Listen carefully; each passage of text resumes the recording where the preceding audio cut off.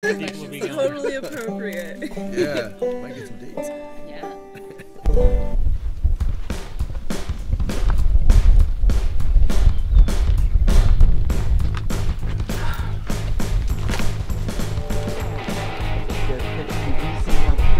Up behind the driver's seat, there's gonna be an area for a couch,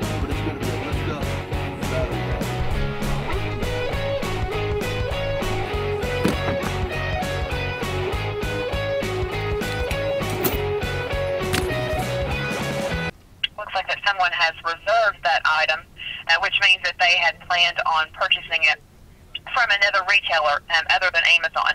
So I'm just checking to see if they left um, their name on that reservation.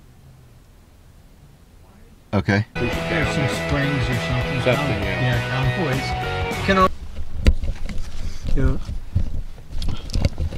a lot of people praise the diesel engine, and uh, you know they the feeling is is that they run forever and that they're the way to go, but in many cases they're not because if anything ever goes wrong with them, it's high dollar. It's uh, you know I had a, a Ford pickup with um, the 6.9 uh, diesel engine and a cylinder cracked on it and the estimated cost to replace that engine was eight grand.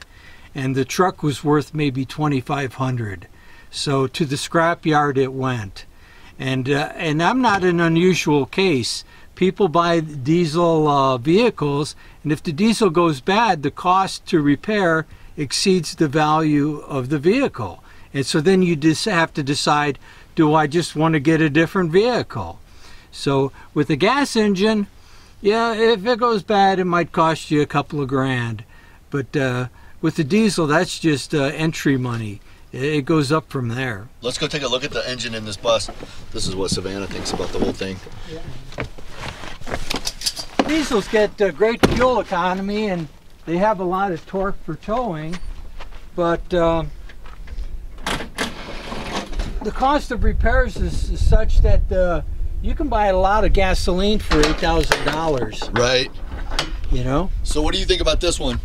I think it looks clean. It doesn't look like it's, it hasn't been steam cleaned or anything, and I don't see any oil leaks. It looks pretty pretty good.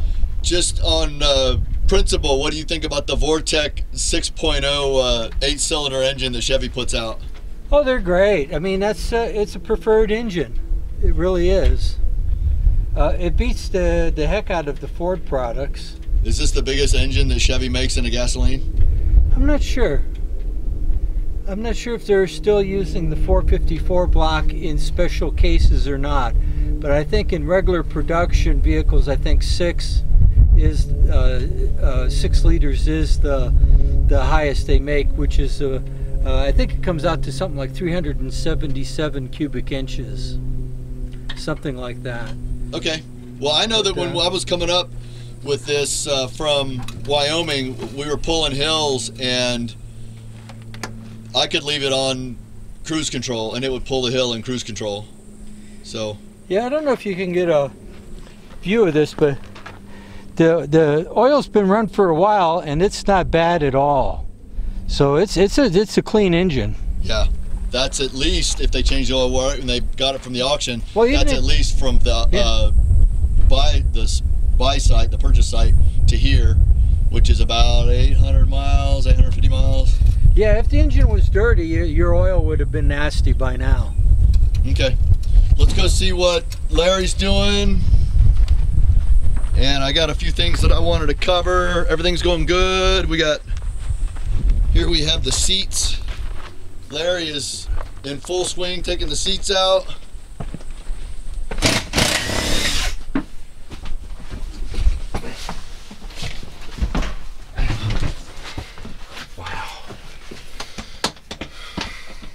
Whether he's working or whether it's the night after drinking, Larry's always on the ground the next day.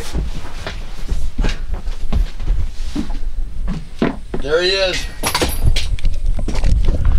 I give him a hard time, but he does all the heavy lifting. I just uh, take all the credit. He always gives me a hard time. This is what's going on. We have started to remove the seats. We're we're going to leave the chains on so much feedback about leaving the chains on. What I'm afraid of with those chains is I know the kind of roads that are out here and there's big rocks that protrude out of the surface of the ground eight ten inches. And if one of those rocks hits the chain apparatus it's got nothing to do but bend back the u-bolts that are holding the leaf springs onto the rear axle. And that's my big concern. I looked at it. We'll put a pause on it for now. Maybe we'll roll with them on. Uh, most likely we will. We're to put a pause on that for now. But otherwise we're taking the seats out. It won't be long and we're to be putting the floor in. So we've got the floor in it. And we'll be getting into the design. Danny b's here as you can see. Larry's here working hard. A couple of things i wanted to ask you guys a favor. The people that have uh, purchased things on amazon amazon doesn't tell me who you are and there's little notes in the boxes and i got some of the notes but one day when we were opening them opening the boxes the wind came and scattered everything so it it scattered everything. And so some things I know who got it and some I don't. Uh, if you could please send me an email to enigmaticnomadics at gmail.com and let me know who you are and what you purchased on the wish list. Well, As we're installing it, I want to acknowledge you. I, I thank you for doing that. And I'd like to thank you as we're installing the stuff. So if you could just do that favor for me. And then also there's a couple of things that are showing the batteries, two batteries, and an inverter that we're that's going to be her main inverter are showing as purchased but they're reserved whoever reserved those if you want to go ahead and get those please do so now because now is the time we're about to get this thing in full swing uh, if not you know that's fine too we just need to know we've got our cash reserves to build the van out with or the bus out with we've got to figure out how we're going to manage this and prioritize and make sure we get the, the big stuff done. So please let us know. Either go ahead and pull the trigger on those items or let us know that you're not going to unreserve them, whatever, and we'll work from there. Now, I want to send a special thank you to our all of our GoFundMe contributors. Thank you so much for that. We really appreciate that uh, Simon for the sending the solar panels. We haven't received them, but he just put them in the mail a couple of days ago. That's going to save us a lot of money. Uh, we've got the solar controller somebody bought. Please let me know who you are through that email. That's a really nice solar controller, so I'm real excited about that. We've got Robin Barnes, 45 Court winter. Thank you so much for picking up that refrigerator. It's going to allow her to keep perishables on the road, and so that's going to really make a difference in her quality of life. I'll go ahead and put the address in the notes for where to send things. It's also on the wish list, but if anybody else wants to send anything, that address, I'll say it and then I'll put it in the notes. It's 2279 North University Parkway, number 158. It's Jamie Diamond is the name on the mailbox.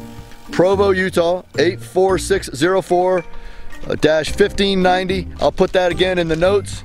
Thank you so much for everyone that's contributed everything that you have. This is coming together beautifully. We couldn't even have imagined that it would go so well. Tamra's gonna have a solid home here very soon. We've got all the building blocks and foundation for what's gonna make for a solid home for years to come. If we can just get Larry to get off the ground and start working, I think we'll make some real headway. We'll see you guys on the next upload. See ya.